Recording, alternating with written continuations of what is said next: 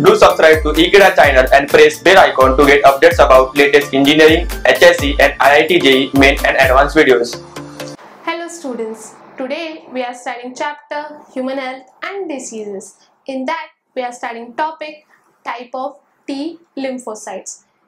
Either you can say lymphocytes or normal T cells. There are four different types of T cells. Let's study about them today. T lymphocytes. If I say about T lymphocytes or T cells, they are the highest rank cells in our body.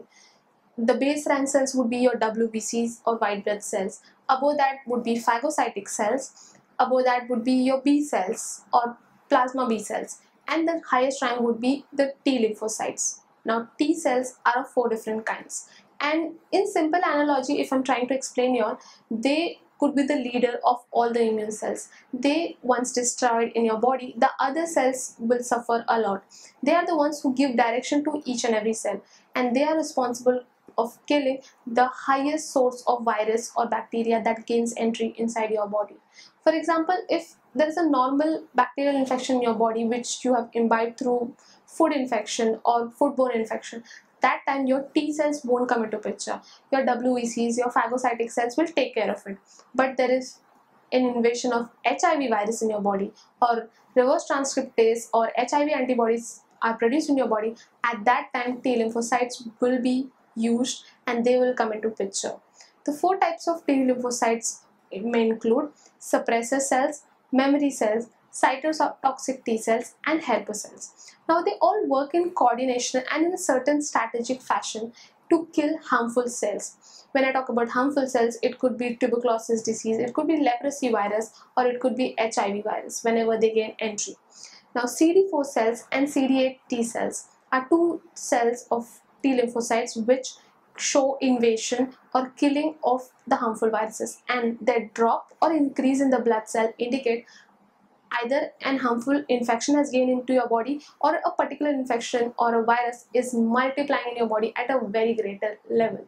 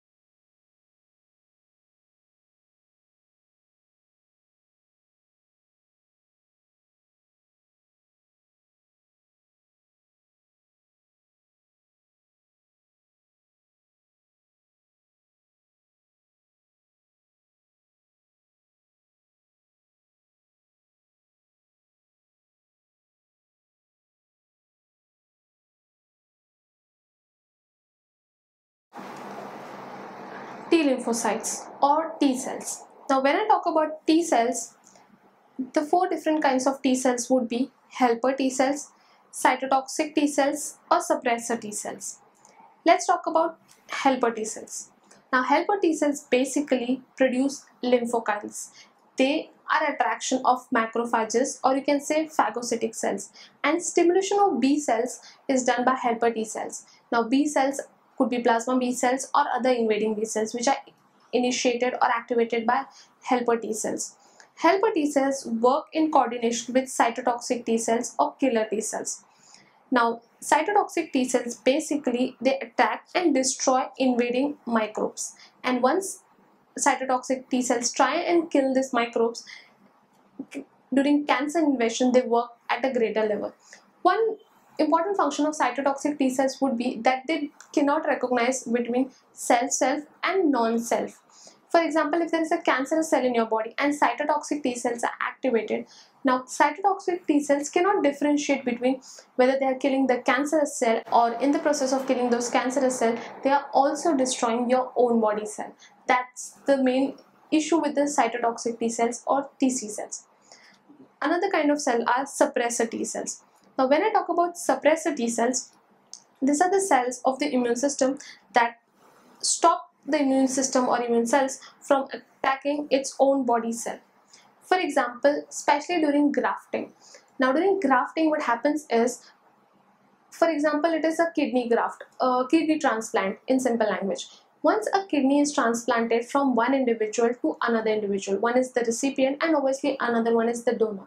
There are chances that the MHC complex or the major histocompatibility complex of the recipient and donor may not align together with it with it or together they cannot compromise or together they cannot adhere to it now once a graft is transplanted into the donor there are high chances that the immune system of that donor will try to reject the graft that is the reason during organ transplant antisuppressants are given or certain medications are given that will suppress your immune system all your cells whether it is cytotoxic T cells plasma cells B cells every one of them. So that the graft or that particular organ that has been surgically operated or it has been put into your body can sustain and survive and find its analogy inside your body. And it is not rejected or it is not killed or invaded by the cells of your immune system.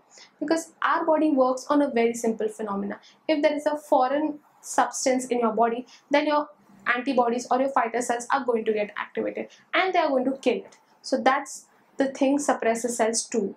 They try your body from stopping to killing your own body cells especially during cancerous medicine given and during organ transplant